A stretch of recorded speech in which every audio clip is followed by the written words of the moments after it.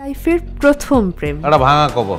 ছোটবেলায় আমাদের বাড়ি গ্রামের বাড়িতে পুকুরের ওই পাশে একটু জংলা মতো জায়গাতে শ্যাওলা ধরা একটা পুরনো কবর। কার কবর জানি না কিন্তু রহস্যময় লাগতো গিয়ে দাঁড়িয়ে থাকতাম জঙ্গলে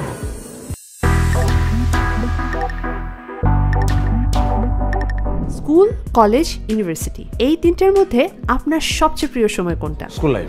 আপনার দাদা বাড়ি মানে আমরা যে বলি আপনার দেশের বাড়ি তো আপনার দেশের বাড়ি কোথায়? আমার বরিশাল জেলা। থানা হচ্ছে গৌর নদী আর আমার গ্রামের নাম পিঙ্গলাগাঠি বেড়ে উঠেছেন কোথায়? একদম ছোটোবেলাটা ঢাকায় ক্লাস ফাইভ পর্যন্ত। সেগুনবাগিচা স্কুলে ক্লাস থ্রিতে ভর্তি হয়েছিলাম। ফাইভ টু টেন বরিশালে গৌর নদীতে। তারপরে আবার ঢাকায়। আপনি তো কোচিং সেন্টারের টিচার ছিলেন।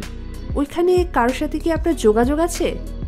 হ্যাঁ যোগাযোগ কম হয় কিন্তু হয়। যোগাযোগ হয়। মাঝে মাঝে রাস্তাঘাটে স্টুডেন্টদের সঙ্গে দেখা হয় ভালো লাগে। আপনার লাইফের এমন কোনো একটা খুব ইম্পর্টেন্ট মানুষ। যাকে আপনার ভালো লাগতো কিংবা যাকে কোনো কারণে আপনি মনে রেখেছেন কিন্তু কখনো সেটা বলা হয়নি। তারিকা নাম। তারিক ভাইকে এটা বলা হয় না যে আপনাকে অনেক ভালো লাগে। আপনার লাইফের প্রথম প্রেম। একটা ভাঙা কবর। ছোটবেলায় আমাদের বাড়ি গ্রামের বাড়িতে পুকুরের ওই পাশে একটু জংলা মতো জায়গাতে শ্যাওলা ধরা একটা পুরনো কবর। কার কবর জানি না কিন্তু রহস্যময় লাগতো গিয়ে দাঁড়িয়ে থাকতাম এই জঙ্গলে। ওই প্রেমে ঢুকেছিলাম অনেকদিন। আমার মনে হয় এরকম একটা জায়গায় খুব বেশিক্ষণ কথা বলা যাবে না। সবাই বিরক্ত হবে। আমরা সবাইকে বিরক্ত না করে অন্য একটা জায়গায় যাই। চলে ওহো এটাই তাহলে আপনার প্রিয় জায়গা? হ্যাঁ। ভাইয়া আপনাকে যারা এসে বলে ভাই আমি অ্যাক্টিং করতে চাই তাদেরকে আপনি কি বলেন? জাস্ট টিপস নাকি সত্যি সত্যি হেল্প করার জন্য কিছু বলেন? আর হেল্প করতে চাই কিন্তু হেল্প আসলে কেউ নিতে চায় না। মানে অধিকাংশই নিতে চায় না। আচ্ছা ভাইয়া একটা অন্য প্রসঙ্গে আসি। চা লাচ্ছি কফি কোল্ড ড্রিঙ্কস কোনটা? কফি। আম, কোন খাবারটা খেতে আপনার একদমই ভালো লাগে না? মানে আমি কাটা পছন্দ করি না আর জীবনেও না মাছেও না।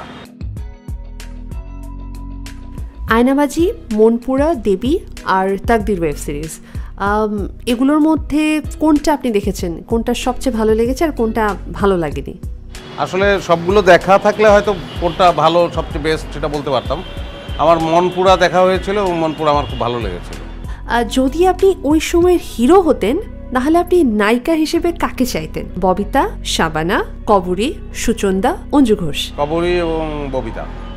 আপনার প্রথম দেখা ছবি অথবা সিনেমা যেটাই হোক না কেন সেটার নামটা কি আপনার মনে আছে?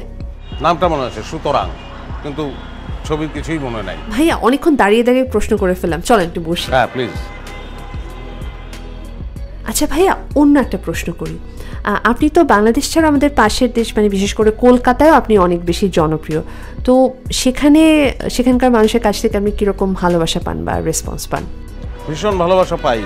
দর্শকদের বেশ ভালো লাগে। অনেকেই অভিনয় পছন্দ করে। তো ভালো লাগে।